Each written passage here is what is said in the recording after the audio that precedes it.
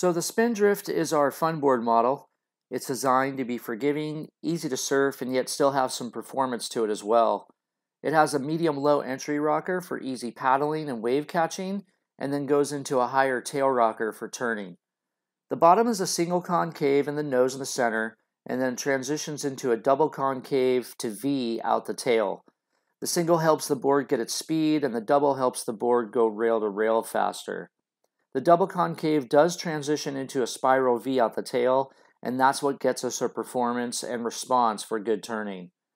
The outline has a medium full nose. We designed it that way so that it has plenty of float up front, but didn't want to make the nose area too bulky, which slows down your response and creates more area that you have to swing around when you're turning.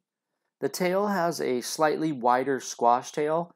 This small amount of extra width is to give you a little extra lift on the slower days. It comes standard with five boxes. This allows you to surf the board as a thruster or a quad. I notice the board feels a little quicker as a quad, while a thruster might be a better idea for more control and on bigger days. So check this video out of the Spindrift in action. In this footage, the board was ridden as a quad.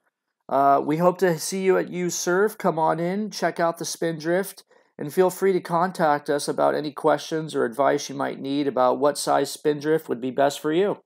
Thanks. Enjoy.